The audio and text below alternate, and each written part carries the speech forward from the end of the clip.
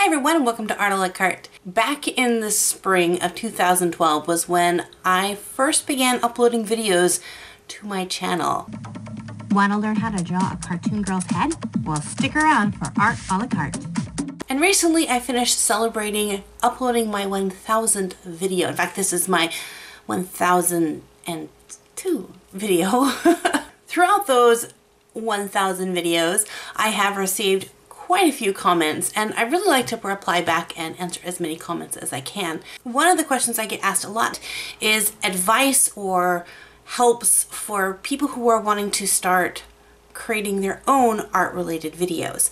So this is going to be that video. I'm going to give you five different tips that of things that maybe I wish I would have known when I first started this channel, when I first started recording videos, would have been so helpful to know these things. Back in 2012, there wasn't a lot of resources out there to help you know how to do the recording and lighting and voicing and all that stuff.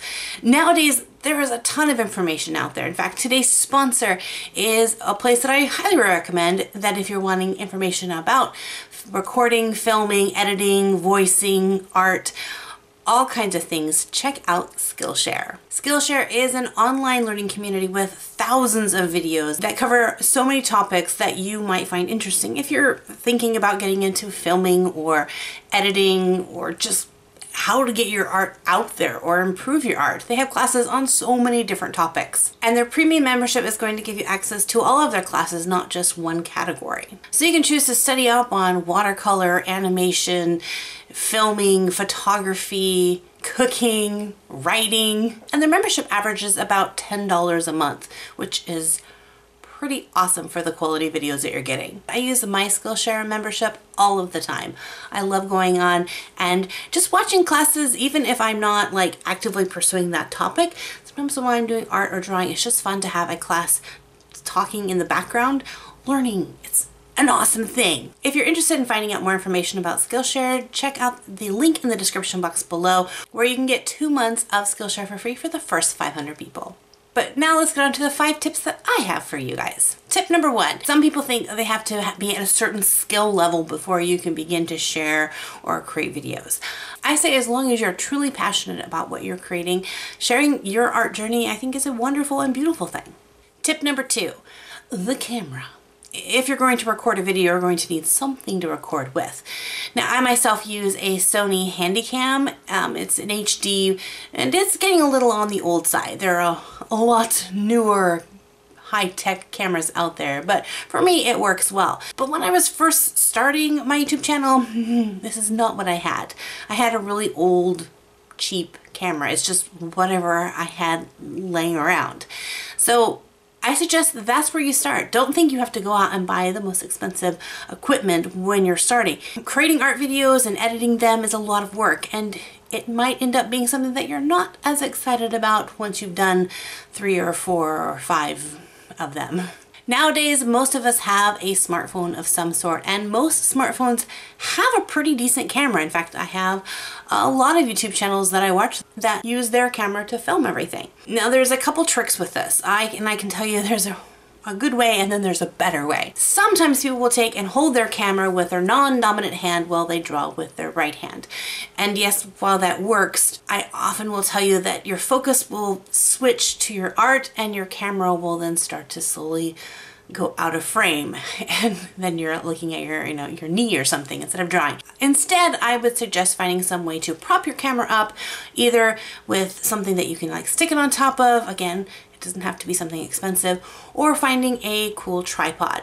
There are a lot of little tripods that will fit the little phone cameras and you can get them relatively cheap. Before you start filming, you also want to check your your field of vision view, view of it. Before you actually start filming and drawing, you want to make sure that you are in focus and in frame. That means that uh, things aren't blurry, that you have the settings correct so that everything is as clear as possible. If you watch some of my earlier videos, you'll see that the quality is not great. But in all honesty, back then they really didn't have high quality, high definition cameras out there back in those days. So I'm left-handed. I tend to put my camera a little bit more to my right side and tilt it just a little bit so my hand isn't directly over top of what I am drawing.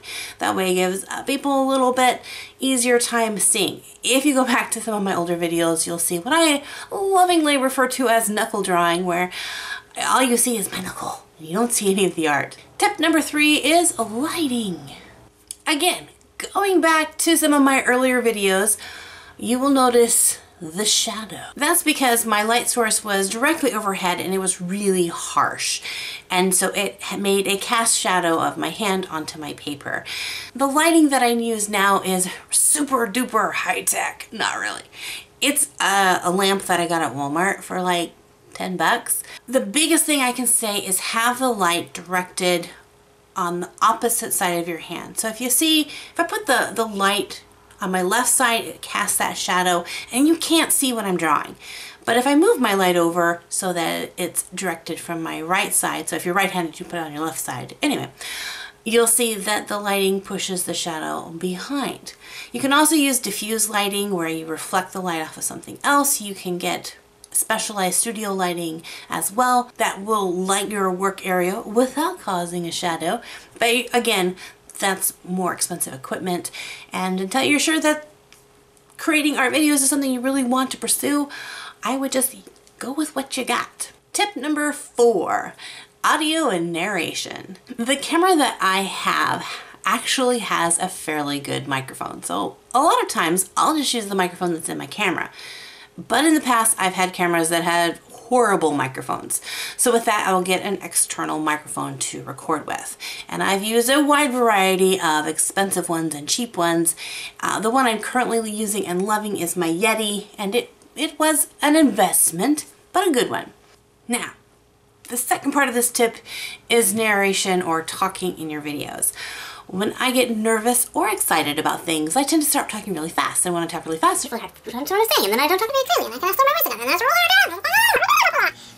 One of the biggest comments that I receive in my older videos is that I go way too fast. I talk too fast, I explain things too fast, I draw too fast. So remember to breathe. It's all right.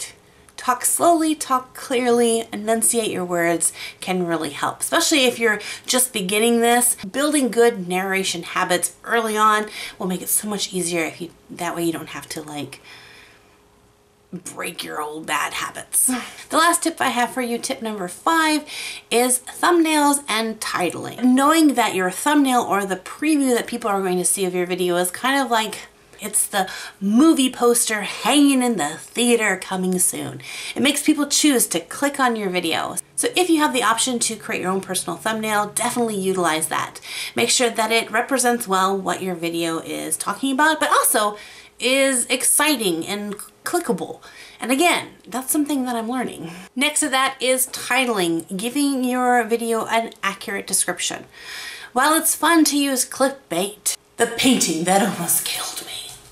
While clickbait can help you get more views, you want to make sure that what you're talking about is actually what's in your video.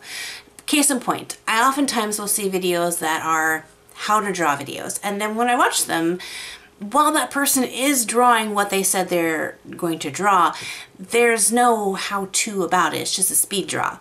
So if you're making a tutorial or how to draw video, make sure that you tell people how to do that. exciting thumbnail, exciting but accurate title. The more you practice at this, the better that you're going to get. You'll look back on your older videos and go, I hope no one ever watches them. And then they'll end up being like the best viewed videos on your channel. Fronts Photo Horse, um, its forelock is really kind of um, short.